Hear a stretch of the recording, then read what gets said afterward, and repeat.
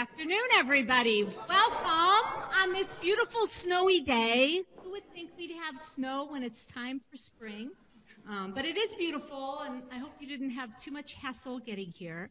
Um, I'm Gretchen Spreitzer, and I'm the faculty director of the Center for Positive Organizations.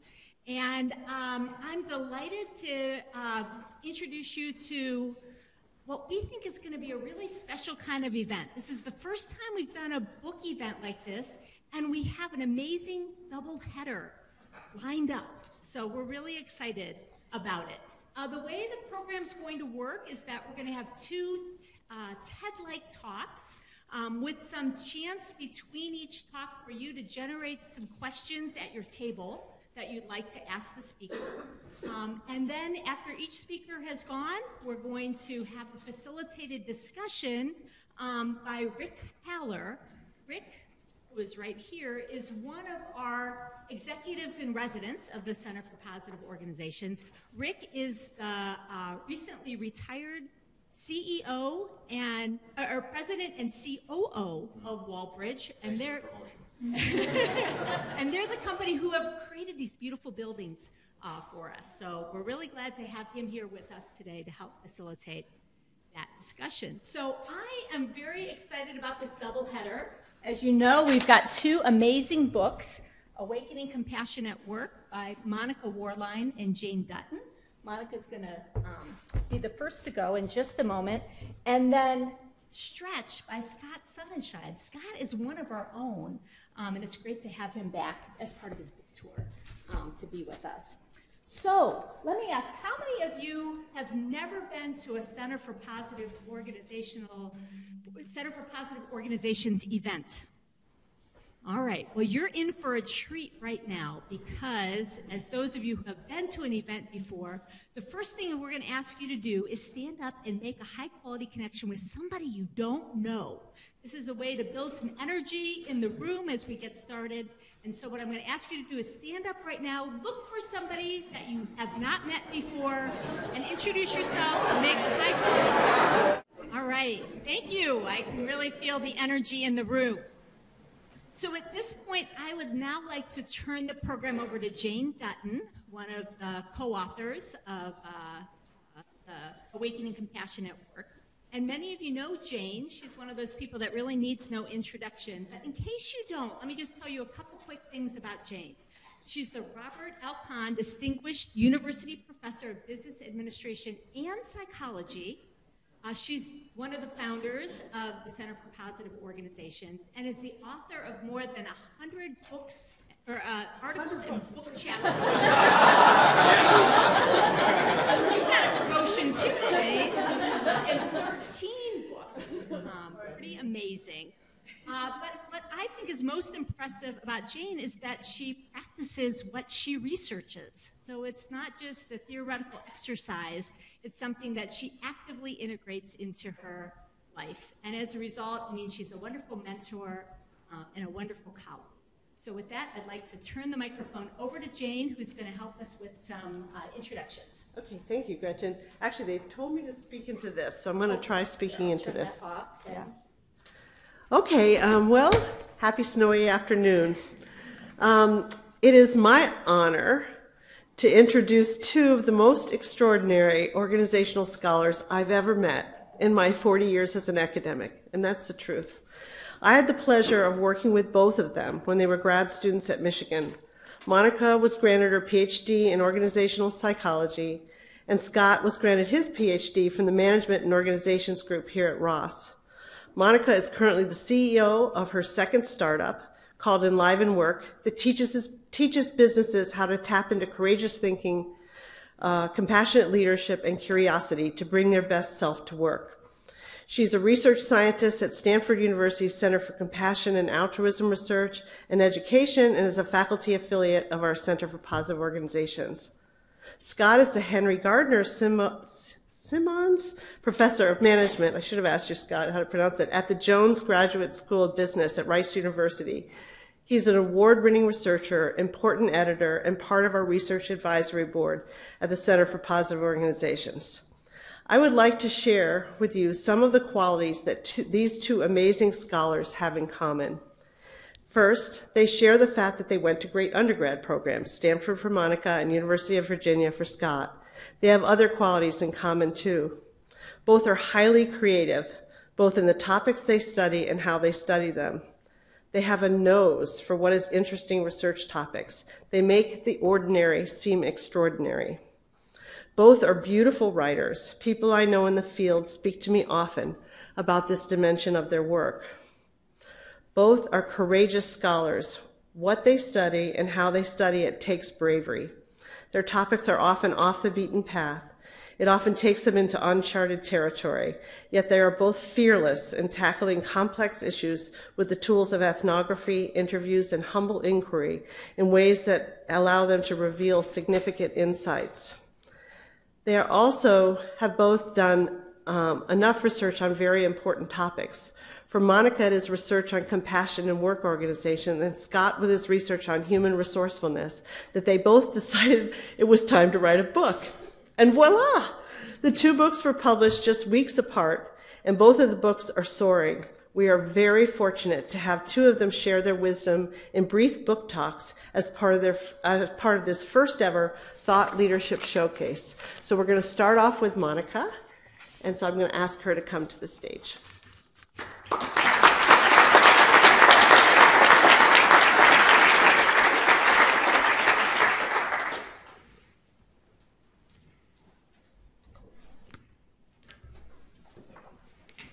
Thank you. Thank you, Jane. Thank you, Gretchen. Thank you, Chris, for the invitation. Thank you, Rick, for um, hosting our discussion today. And Scott, thank you for sharing the stage together and sharing your book launch month with uh, Jane and I. It's been actually really fun to um, be in that space together. So today I'm going to share with you two questions that I hope you will take away and ponder because they're vital questions for the age that we live in and they're very much at the heart of why we wrote the book Awakening Compassion at Work. And I will give you just a taste of the answer that Jane and I offer, or the answer we begin to offer in this book. So many of you have probably heard the statistic that you will spend at least 100,000 hours of your life working. Um, for a lot of people in this room, you'll actually spend a lot more than that. So um, it's a it's a it's a it, think of 100,000 hours of your life and how you would like to spend it. Think of 100,000 hours of your life, and over the course of that 100,000 hours, you will do something that you're very proud of. You will, I know. Uh, you'll do something that um, gives you joy. Right? You will do something that welcomes your colleagues into your life in a fantastic way. Um, maybe it'll be the birth of a new baby, or maybe a grandchild, um, or a niece or a nephew. Maybe it'll just be the introduction of a puppy. Um, this is my dog, Amaya. She was the apple of my eye. And uh, this is just a few days before she died last year. And so she's here with me today to remind me that over the course of 100,000 hours of working, you'll lose loved ones. Your community will suffer some kind of a disaster, a fire, maybe a flood, something that washes people's lives away and demands recovery. Over the course of 100,000 hours, we will all do something that we're not that proud of. Or we will make a mistake that causes us regret. And so, if you think of that 100,000 hours and just glance the surface of it in the way that we did, it asks this question, right? Why do we insist on this myth of inhuman business when so obviously, the work is suffused with the joy and the suffering of all of life's experience. Okay, that's question number one. Now, it is a pretty extraordinary time to be alive. We're getting close to the middle of the 21st century. And it used to be pretty unthinkable that people could fly, but now we fly around just to give book talks. Uh, and in fact, SpaceX is ready to take tourists to the moon. It's a pretty extraordinary time to be alive because it used to be unthinkable that we could talk to somebody unless they were right there by our side. And now, of course, technology has shattered that barrier for a long time, but now we could actually broadcast to billions of people all around the world right from that iPhone right there on Facebook Live. Wow, right? It's a pretty extraordinary time to be alive. The wonders of this technology, the wealth and the abundance of human experience that we are creating is so unfathomable. And yet, 50% of people in the United States, when asked by a survey researcher, will say they have no one in their life they could talk to if they had a significant trouble. Suicide is growing in every single age demographic in the United States. And far more than 20 million of our fellow citizens are going to be touched by addiction every single day this year. So we live in this incredible wonder of technology and abundance and wealth, and yet we aren't asking deeply enough what is the role of the world of work in alleviating this epidemic of human suffering that we are surrounded by? So that's the second question. And those two questions are really the heart of Awakening Compassion at Work. Now, I want to tell you a story. And it's actually a really mundane story. Um, and it's not in the book because it's just unfolding over the, the last few weeks. Um, I have a friend whose name is Ling, and she's a product manager in a global technology firm. Her firm has been going through a merger, and the senior management team has been really careful to try to preserve as many positions as they could during this merger, but some people had to be let go. So Ling and other product managers at her level were deployed across the organization in lots of geographic spaces to go meet with their new teams because people had been reorganized, teams had been reconfigured, whole divisions had been tossed up in the air and put back together, and it was time to get the engine firing and get the product um, development rolling again. And so my friend Ling called me the day after she came back from her visit to her new team in Romania.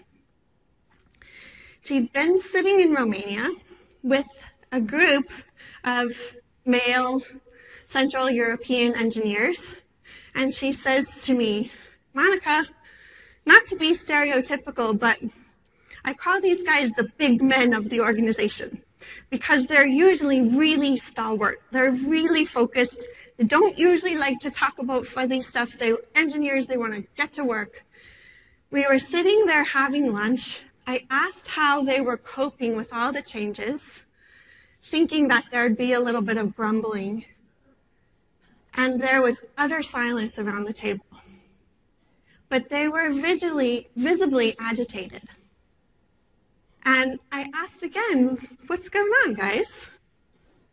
And one of them said, on behalf of the rest of them, we're going through a work divorce. And she was taken aback by that phrase, but she asked them to explain, and they started to tell stories about how the colleagues that had been transferred rapidly to places all around the globe had actually grown up together in the company. They spent almost all of their coffee breaks together. If you think of a lot of that 100,000 hours of work time, they'd spent almost all of it together, some of them. And they'd gotten to know each other so well that they very often visited each other's families' homes. Some of them even took vacations together. So these engineers sitting around the table in Romania were feeling this deep grief and loss and isolation and loneliness because many of those colleagues that they cherished, who they cherished so much, had just disappeared overnight, sometimes without even a chance to say goodbye. Now, that's actually a pretty mundane story of change in organizations. It wouldn't be remarkable to hear that story unless you were listening to it through the lens of those questions. Because if the role of work organizations is not to perpetuate suffering and grief and isolation, but instead, in fact, to be a part of healing that epidemic of human suffering, then that kind of change management is no longer acceptable. It is not necessary for change management to leave a trail of suffering in its wake that is unattended to.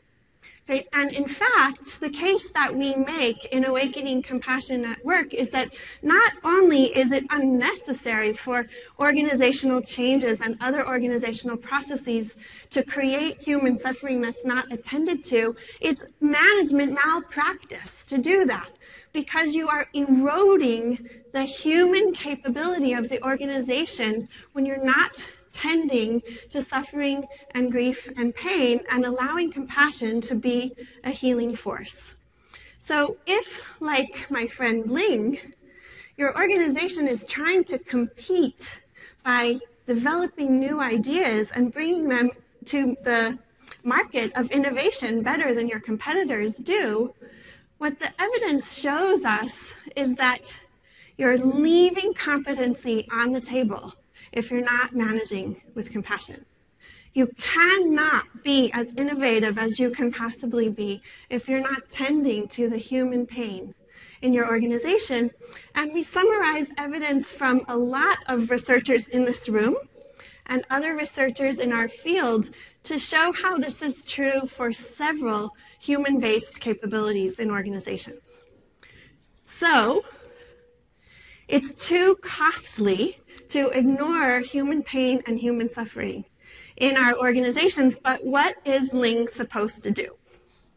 Well, that's the other taste that I want to give you of awakening compassion at work. Um, we think of people like Ling as what we call compassion architects. Um, and that's because we know that they use their discretionary effort and their wisdom and their interpersonal skills to draw out the pain and suffering that's around them and to help tend to it and heal it. And we want those compassion architects to have more skills and more capacity to spread that compassion across their entire organizational systems. So we offer people like Ling a bit of an equation. And it's a four times four equals compassion competence equation. The first four in the equation is compassion as a four part human experience. So, first, if you want to be compassionate, you have to notice that suffering is there. Like Ling around the table, you have to be willing to let that conversation about the work divorce unfold. And then, second, you have to be willing to interpret that that suffering that's present in the organization is worth your time and your energy to attend to, and that it's relevant to your work to do so.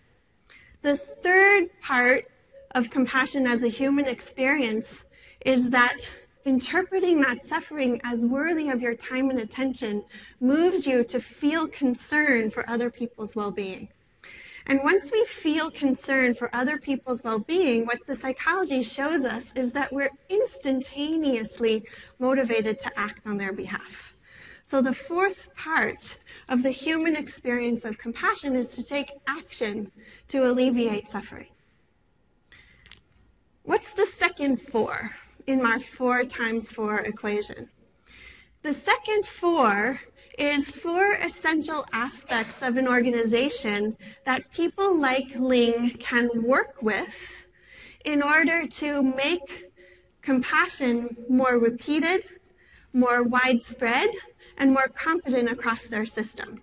So you can work with the culture and values of your organization, like Ling did with hers to make her case to her senior management that something needed to be done to address this situation. Um, what are the fundamental beliefs and values that we're making about human nature? And are we believing and valuing that humans are worthy of compassion in the workplace? The second part of the social architecture that compassion architects design and draw on is the networks of the organization. This is how people are structurally connected together.